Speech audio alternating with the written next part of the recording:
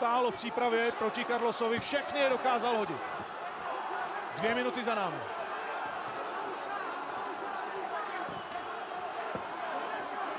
Atila mimochodem jede velmi náročný.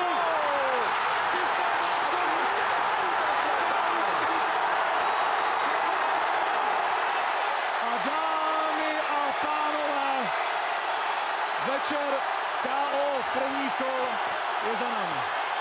Tak toto bola bodka jak hrom.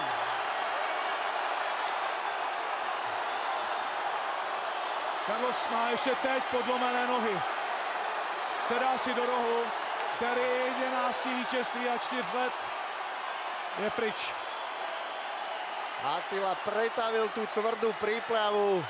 Toto fenomenálne víťazstvo a evidentne si ho neskutočne užíva s celou vypredalovou tú arenou.